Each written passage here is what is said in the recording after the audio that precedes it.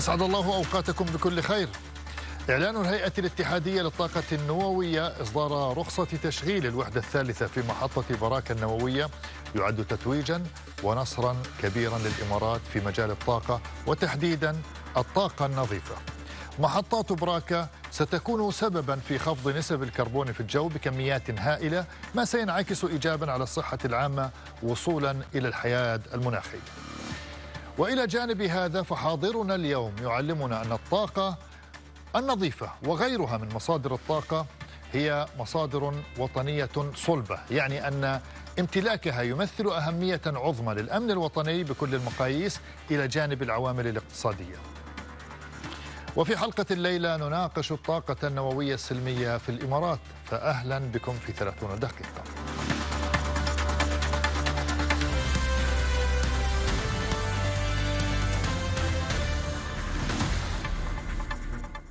بعد تشغيل الوحدة الأولى والثانية الآن إصدار رخصة تشغيل الوحدة الثالثة. الإمارات مستمرة في مساعيها في إرساء قواعد البرنامج النووي الإماراتي السلمي ليأتي المؤتمر الصحفي معلنا تحقيق إنجاز الخطوة الثالثة. إنجاز يعني اليوم هو آه، خطوة رئيسية يشكل يعني إدخال مفاعل رقم ثلاثة من أصل أربع مفاعلات. آه، المفاعلات الأربعة في محطة براكة لما تكتمل وتبدأ التشغيل التجاري الكامل ستشكل ما يعني يقدر ب 25% من الكهرباء في دولة الإمارات. آه، هذه الكهرباء هي كهرباء نظيفة تساعد دولة الإمارات في الانتقال بشكل نوعي إلى مرحلة إنتاج كهربائي نظيف. متسق مع تعهدات دولة الإمارات. سياسة نووية عنوان إمارات المستقبل بهدف تنويع مصادر الطاقة وتحقيق الحياد المناخي عملت عليها الإمارات خلال 14 عاما لتطوير هذا البرنامج الواعد. بالنسبة إلى الترخيص الصادر اليوم استعنا بشكل رئيسي بنخبة من الكوادر الإماراتية. في وقت سابق عند إصدار التراخيص لتشغيل الوحدة الأولى. أيضا بخبراء خارجيين من دول أخرى إلا أنه اليوم في إصدار هذا الترخيص 70% من الجهود تعود للكوادر الإماراتية يظهر ذلك النجاح الذي تحقق في جهود بناء القدرات بهدف تدريب المواطنين وتزويدهم بالخبرات اللازمة في مجال الطاقة النووية.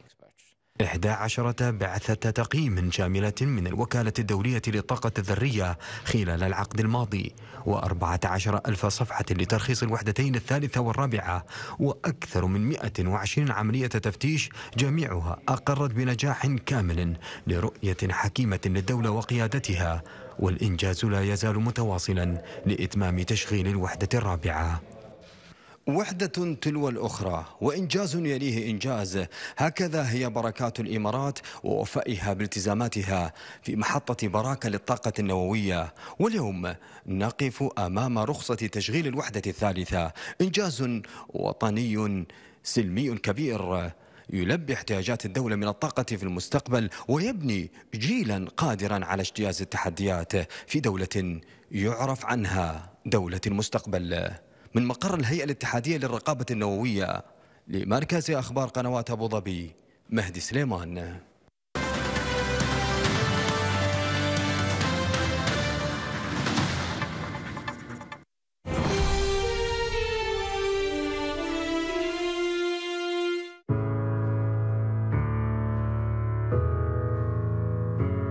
برؤية المؤسس بدأت مسيرة التطور.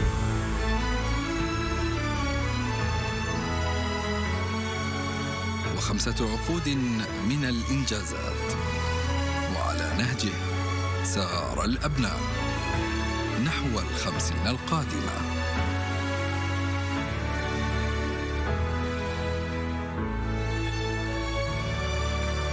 مسيرة وطن. الاثنين والخميس التاسع والنصف مساء على قناتي أبو ظبي والإمارات.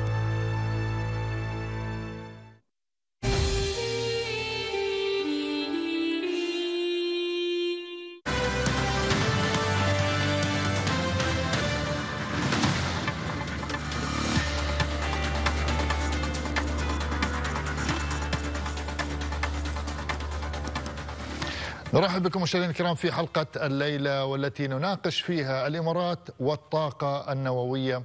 وأرحب بضيفي معنا من فيينا آه، عبر التيم سعادة السفير حمد الكعبي الممثل الدائم لدولة الإمارات لدى الوكالة الدولية للطاقة الذرية ونائب رئيس مجلس إدارة الهيئة الاتحادية للرقابة النووية. ومعنا هنا في استوديو 30 دقيقة الدكتور أحمد خليفة الكعبي الباحث في مجال الهندسة.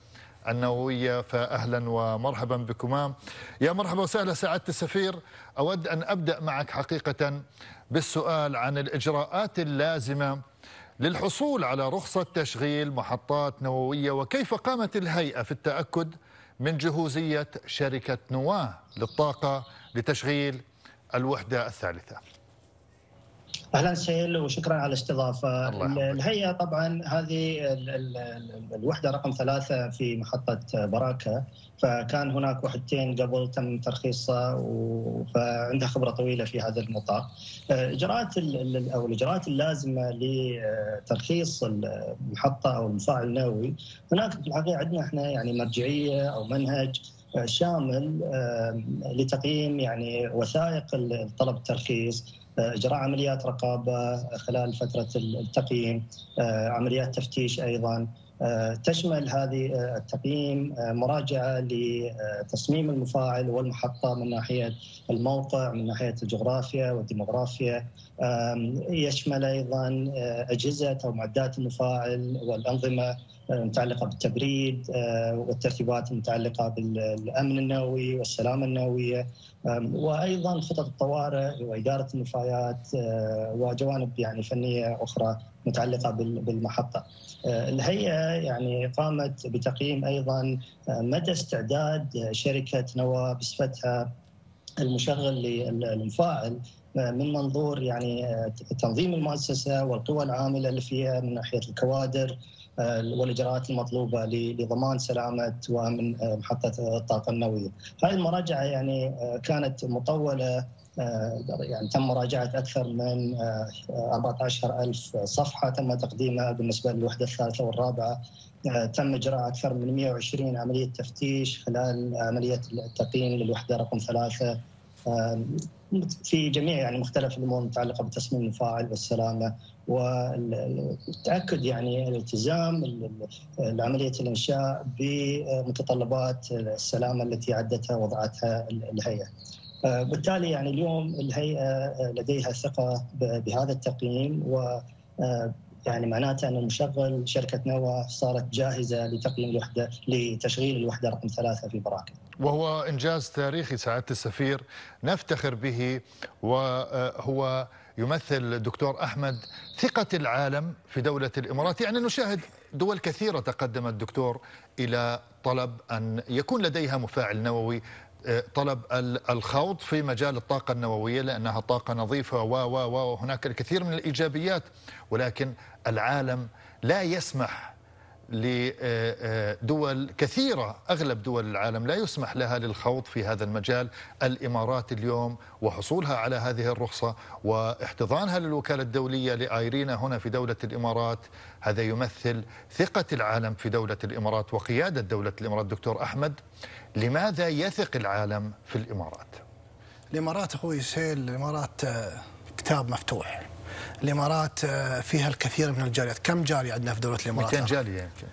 كلهم هذيلا مثل يوصلون رسالة لدولهم، الإمارات فيها قانون عدم التمييز، الإمارات بلد التسامح، الإمارات هي اللي تبنت وثيقة الاخوه الإنسانية. الاخوه الإنسانية، فهذا كله أدى إلى أن دولة الإمارات العربية المتحدة دائما حسب ما يقول شيوخنا حفظهم الله نقول ما نفعل ونفعل ما نقول.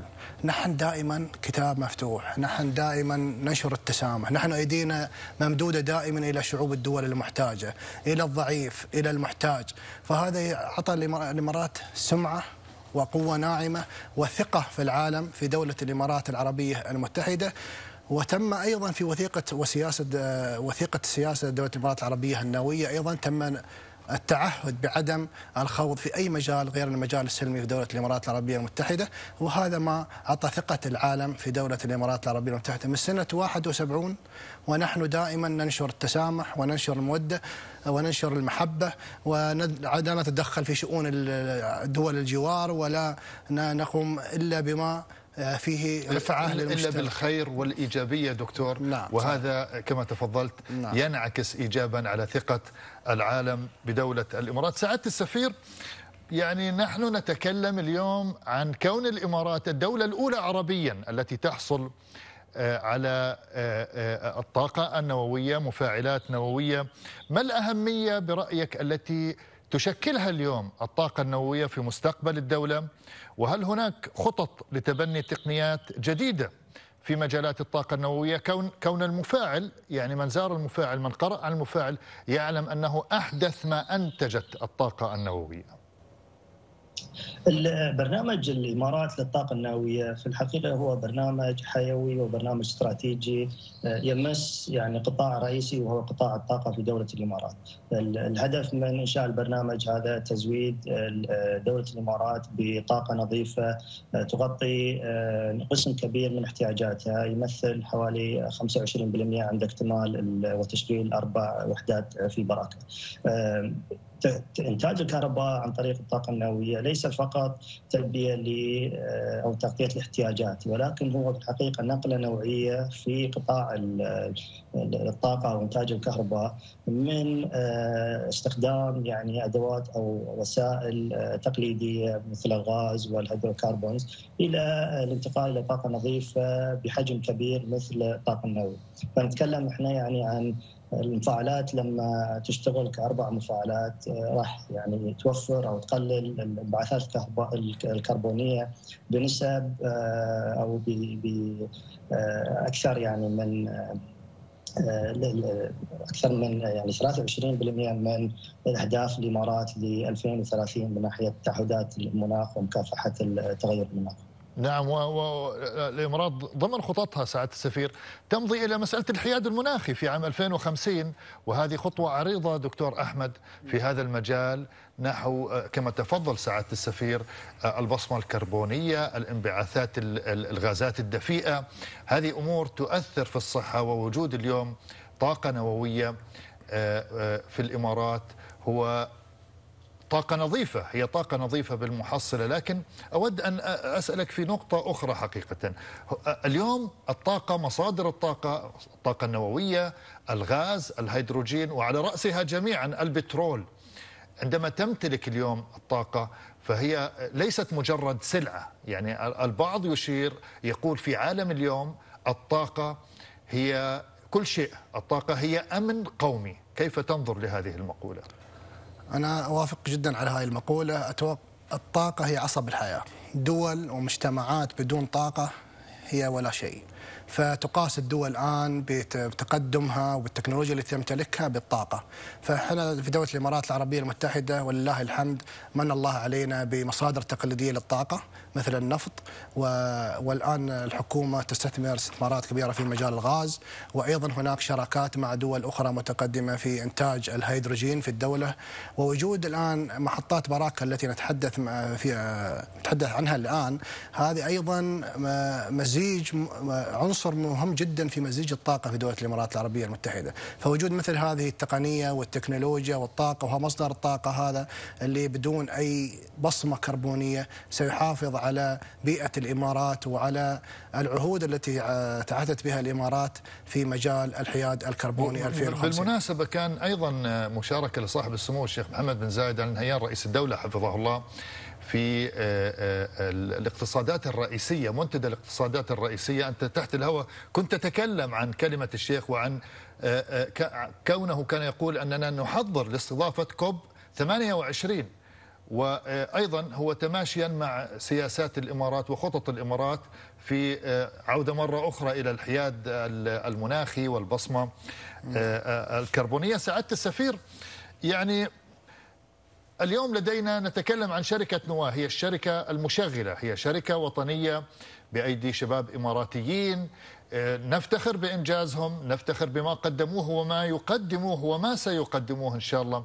لكن هذا آه، يرجع لاستراتيجية الهيئة خلال الأعوام السابقة للوصول إلى هذا اليوم. أنتم مضيتم في طريق في خطة معينة حتى تنتجوا لنا اليوم 14 عام. اليوم بانت النتائج وبان لدينا شباب إماراتي آه، ضليع في مجال الطاقة النووية. خبرنا عن استراتيجيتكم للوصول إلى هذا اليوم.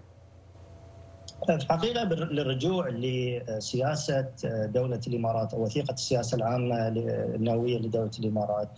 ترى يعني عنصر ومبدأ رئيسي اعتمدت عليه السياسة وهو آه، يعني التركيز على تطوير البرنامج بشكل يضمن آه، نجاحه على على المدى الطويل.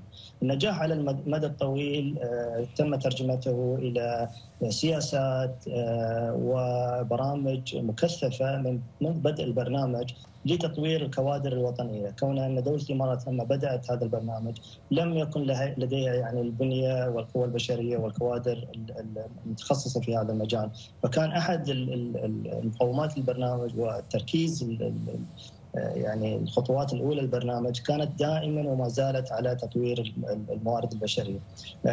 لعدة سنوات منذ بداية البرنامج حتى الآن هذه البرامج آه، يعني أنتجت اليوم كادر متخصص نفخر فيه على مستوى الهيئة الاتحادية الرقابية على مستوى مؤسسة الإمارات على مستوى نوى.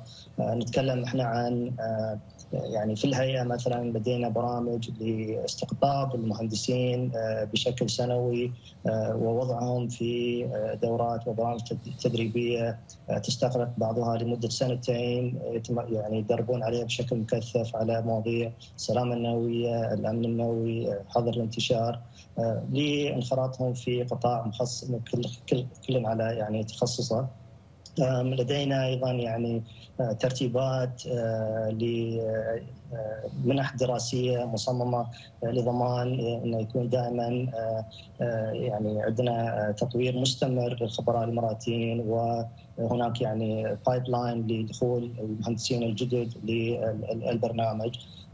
لدينا آه، اليوم داخل الدولة وخارج الدولة ترتيبات لأنشطة البحث والتطوير منخرط فيها يعني آه، إماراتيين باحثين شباب وشابات لعدة نعم. سنوات آه، سواء في جامعة خليفة أو في كوريا أو في غيرها. وهي خطة سعادتك يعني نرى نتيجتها اليوم بهذا الإنجاز الذي نفتخر به. سوف أعود لك لهذا المحور حقيقة. آه، سعادة آه، السفير حمد الكعبي الممثل الدائم لدولة الإمارات لدى الوكالة الدولية للطاقة الذرية ونائب رئيس مجلس إدارة الهيئة الاتحادية للرقابة النووية والدكتور أحمد خليفة الكعبي الباحث في مجال الهندسة النووية. ومشاهدينا الكرام نحن مستمرون ولكن بعد فاصل قصير فابقوا معنا.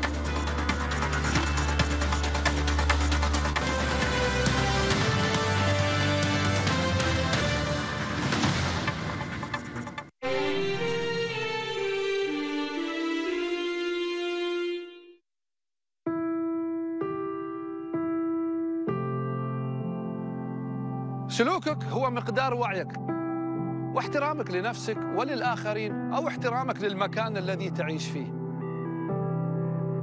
فمثلا أن تحافظ على المكان اللي تنتمي له ما هو إلا شكل من أشكال حبك للوطن.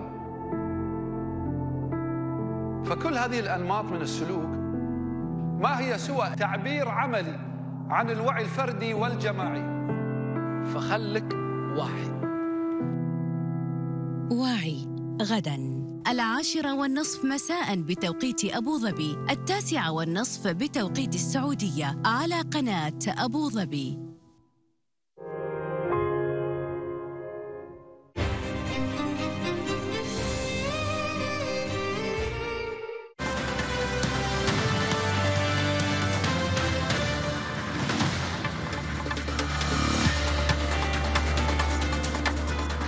نرحب بكم مجددا مشاهدينا الكرام في حلقة الليلة التي نتناول فيها مسيرة الإمارات في الطاقة النووية السلمية. وأرحب بضيفي معنا عبر التيمز من فيينا سعادة السفير حمد الكعبي الممثل الدائم لدولة الإمارات لدى الوكالة الدولية للطاقة الذرية ونائب رئيس مجلس إدارة الهيئة الاتحادية للرقابة النووية والدكتور أحمد خليفة الكعبي الباحث في مجال الهندسة النووية. معنا هنا في استوديو 30 ونبدأ معك من هنا دكتور.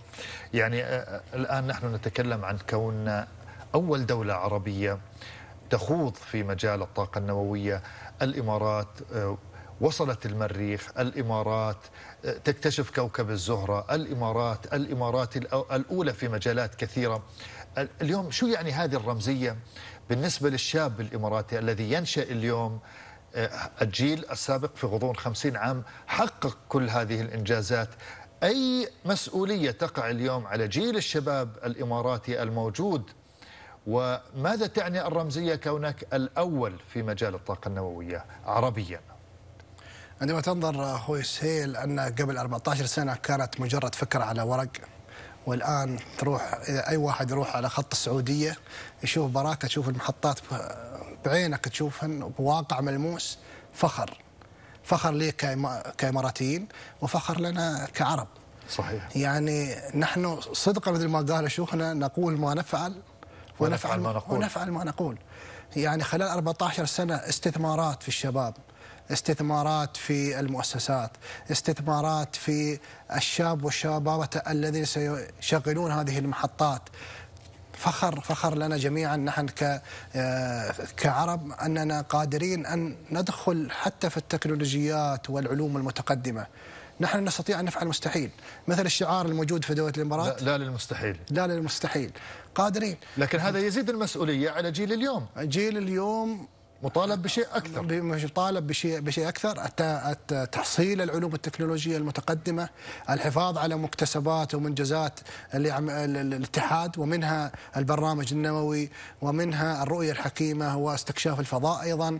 فهذه كلها تدخل في رصيد دولة كسرت حاجز المستحيل وسعادة السفير. اليوم نحن نعيش اللامستحيل. نحن لا نتكلم عن اللامستحيل. نحن نعيش اللا مستحيل في دولة الإمارات. أود أن أسألك حقيقة عن تفاصيل أكثر. يعني شركة نواة أعلنت بدء عملية تحميل الوقود في الوحدة الثالثة. اليوم ما هو دور الهيئة في هذه المرحلة؟ هو بعد الترخيص يعني شركة نوا لها الحق واليوم بدأت فعلا بتحميل الوقود والبدء بعملية تشغيل تدريجي للوصول إلى مرحلة تشغيل تجاري بعد انتهاء المرحلة التجريبية. خلال هذه المرحلة هيئة الرقابة راح تكون مستمرة بعملية التفتيش. لدينا في محطة براكة مكتب ومفتشين موجودين على مدار الساعة. سيكونون يعني يراقبون عملية التشغيل وعملية الوصول لكل مرحلة في في هذه المراحل المتقدمة إلى الوصول للمرحلة التجارية. دور الهيئة راح ينتقل من دور يعني الترخيص إلى دور يعني الإشراف على عملية التشغيل والاستمرار التشغيل. وهذا الدور يعني ما زال المفاعل إذا كل ما كان يعني استمر المفاعل في العمل الدور الهيئة هذا لا ينتهي بل يكون مع مع تشغيل المفاعل ومستقبلا إيقاف المفاعل للصيانة وغيرها. فدور الهيئة مستمر في عملية التقييم والتأكد في الحقيقة أن المفاعل دائما سيكون يعني ملتزم بمعايير السلامة ومعايير الأمان في في عملية التشغيل. هذه العلوم سعاده السفير وخصوصا العلوم الدقيقة مثل الطاقة النووية هي لا يمكن أن تضلع بها دولة معينة عليك أن تكون شريك الجميع وصديق الجميع حتى تتمكن من التعاون مع الجميع في في في هذا المجال اليوم البرنامج النووي الإماراتي يعتبر قدوة في بناء وتشغيل مفاعلات الطاقة النووية وفي تطوير نظام رقابي متكامل وفعال وفقا للوكالة الدولية للطاقة الذرية. اليوم كيف لعب تعاون الدولة مع الوكالة وشركائها في دعم البرنامج؟ الشراكة مع الوكالة الدولية للطاقة الذرية هي شراكة من يعني منذ بداية البرنامج من أول يوم في إعداد الخطط والسياسات التي سيعتمد عليها البرنامج. تطورت هذه الشراكة خلال يعني ال 14 سنة الماضية آه، ساهمت الوكالة في دعم آه، برنامج الإمارات من ناحية الدعم الفني والتوفير الخبرات لبناء آه، البنية التحتية آه، سواء الرقابية سواء آه، البنية التحتية الاشعاعيه وغيرها. الدور الآخر أيضا مع الوكالة خلال الأعوام الماضية هو التقييم المستمر من الوكالة لجهود آه، دولة الإمارات ومدى ملائمة التطور مع خطط دولة الإمارات. استقبلنا أكثر من 11 بعثه تقييم شاملة خلال العقد الماضي. هذه البعثات عادة تنتج بتقارير والتقارير متاحة للجمهور للاطلاع عليها كجزء من عملية الشفافيه ودوله الإمارات.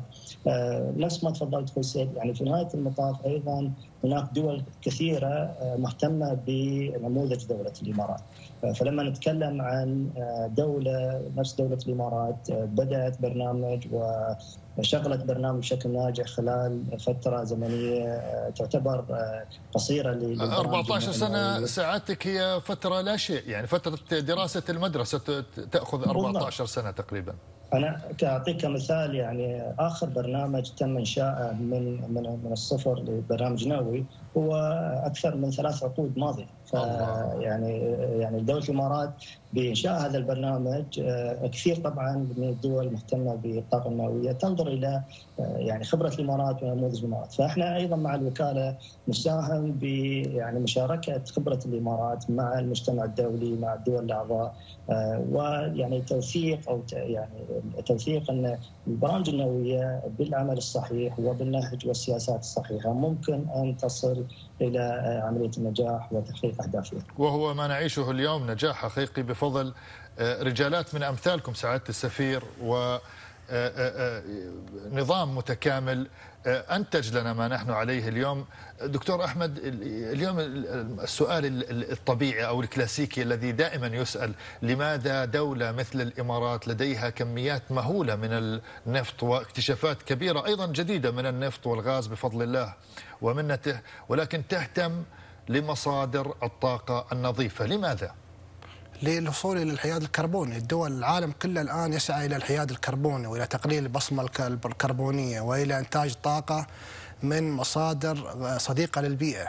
الإمارات الحمد لله عندها المصادر التقليدية ولكن الإمارات تنظر إلى المستقبل، الإمارات تواكب مع, مع تواكب مع العالم الوصول إلى أرض آه ذات بصمة كربونية قليلة، الحفاظ على البيئة، الحفاظ للأجيال القادمة، فهذا ما سعت إليه الإمارات العربية المتحدة من خلال أن تبني الطاقة النووية ومصادر صديقة للبيئة آه، لإنتاج الطاقة. وهذا ما آه، ما ما تدعى إلى أن الإمارات العربية المتحدة تتجه إلى الهيدروجين وتتجه إلى الطاقة الشمسية والنظر إلى إمكانية آه، طاقة الرياح وطاقة الطاقة النووية. فالعالم الآن مهتم أخوي سهيل بإنتاج طاقة من مصادر صديقة للبيئة والإمارات تحاول أيضا أن توجد مصادر لها في دوله مزيج طاقة صديق للبيئة. بالرغم من كونها من أحد أهم آه، مصدري البترول وأكثر مصدري البترول في العالم، سعادة السفير أود أن أختم معك ب آه، يعني هذا إنجاز يذكر فيشكر آه، استراتيجيات أنتجت ما نحن نجاح اليوم. لكن ما هو القادم في المشروع النووي الإماراتي السلمي؟ يعني مشروع براكة يتكون من أربع محطات. المحطة الثالثة أمس رخصناها واليوم بدأت عمليات الإدخال للخدمة والتشغيل المبدئي. ما زال عندنا محطة رقم أربعة في براكة. هذه المحطة يعني على في مرحلة متقدمة جدا من الانتهاء من عملية التشغيل والإنشاء. وسوف ننظر في عملية الترخيص لهذه لتشغيل هذه الوحدة بداية من الربع الثالث. وللموضوع سيستسرع ياخذ بعض الاشهر القادمه. فتشغيل المفاعل رقم أربعة سيكون آه، المرحله الاخيره لهذا المشروع محطة براكه ولكن نتحدث عن مشروع آه، يعني آه، مرخص للعمل لمدة 60 سنة. فهو مشروع طويل الامد فدور الهيئة ودور القطاع النووي لن ينتهي اليوم ومستمر معا. مستقبلا طبعا بناء على استراتيجيات الدولة، دولة الإمارات كحكومة والجهات المختصة تنظر بشكل مستمر آه، لتقييم آه، أي تكنولوجيا آه، متقدمة ممكن أن تلعب دور رئيسي في في مجال الطاقة مستقبلا.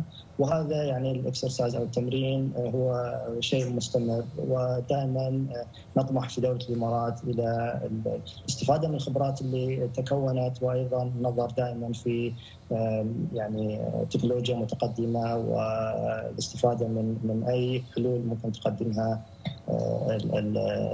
القطاع القطاع النووي في هذا في هذا وهي هي يعني علوم إنسانية تأتي بالشراكة وتأتي بالتعاون وهو ما يتحقق اليوم سعادة السفير حمد الكعبي الممثل الدائم لدولة الإمارات العربية المتحدة لدى الوكالة الدولية للطاقة الذرية ونائب رئيس مجلس إدارة الهيئة الاتحادية للرقابة النووية. شكرا جزيلا لك سعادة السفير وشكر موصول أيضا لك دكتور أحمد خليفة الكعبي الباحث في مجال الهندسة النووية على الحضور والمشاركة معنا أيضا. مشاركتنا فرحتنا في آه، الإنجاز النووي الإماراتي. آه، وشكر موصول أيضا لكم مشاهدينا الكرام على حسن الاستماع. دمتم بحفظ الله ورعايته. في أمان الله.